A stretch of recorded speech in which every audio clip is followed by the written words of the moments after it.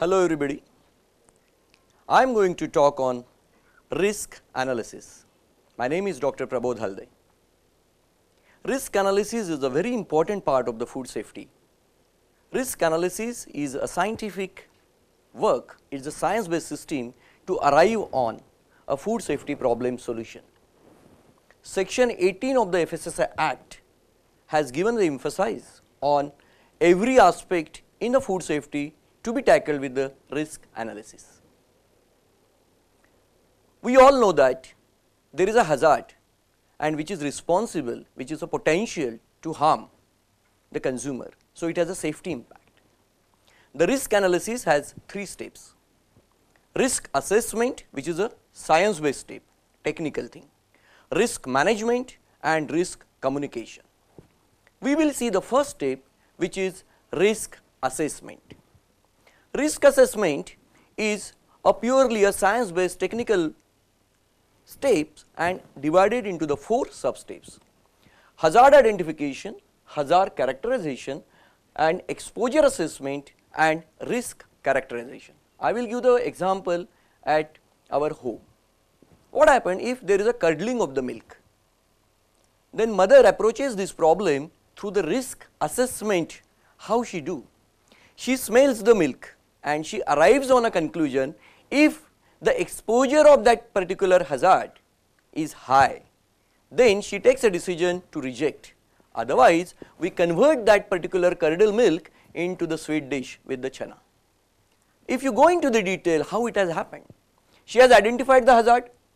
So, the risk is a factor of hazard into exposure. So, the probability of occurrence of the hazard into the severity of the exposure.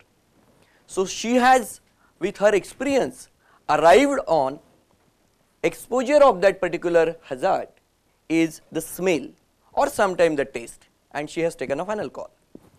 In industry the risk exposure the exposure of particular hazard is conducted through the toxicological studies. So, various chemicals, contaminants, we do the toxicological study on the rats or monkeys and the exposure is assessed. It is called as a NOAEL level. The highest data point where exposure of that particular chemical does not give any adverse effect and then you arrive on a limit of safe.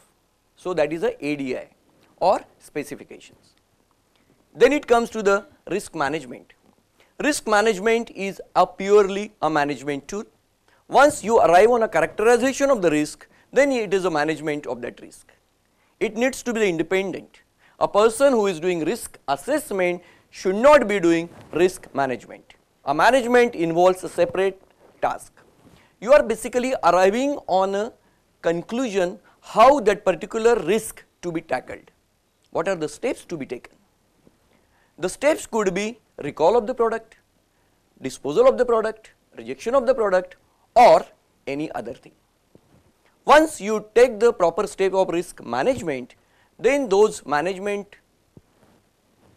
actually management points need to be communicated all stakeholders. So, it is called the risk communication.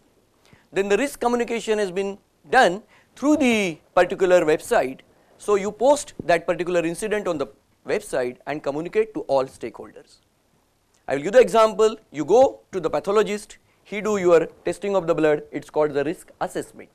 You go to the family doctor with that report, he does the risk management. So, he will give you the medicine, but pathologist may be the doctor, he will not do the risk management. I hope the concept is clear. Just to recap, risk analysis has three steps, risk assessment, risk management, risk communication. Risk assessment is the purely technical term has sub four sub steps hazard identification, hazard characterization, exposure assessment and risk characterization. I hope you like this talk. We will come back with one more talk. Thank you.